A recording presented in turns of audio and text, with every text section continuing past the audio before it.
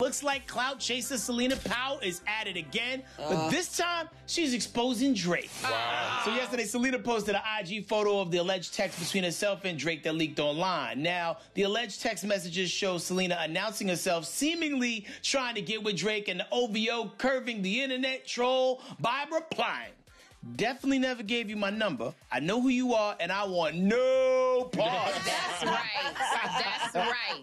Clap that. It's almost like when you're watching a movie and you're saying, "Don't go in there, don't go in there." He didn't go in there, so the audience claps. Good job. So Celina seemingly accepted the L and replied, "Well, okay," and yes, she did.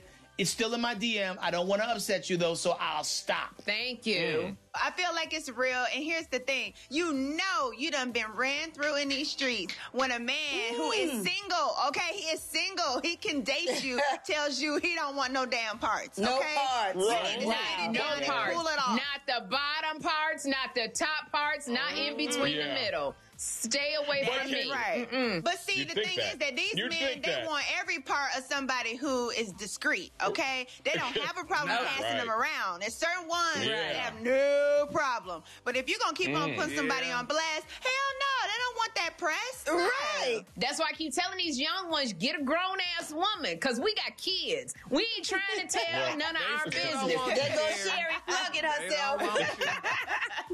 Hey, don't forget to hit us up on social media. We're on all these platforms at Dish Nation. We'll see you there.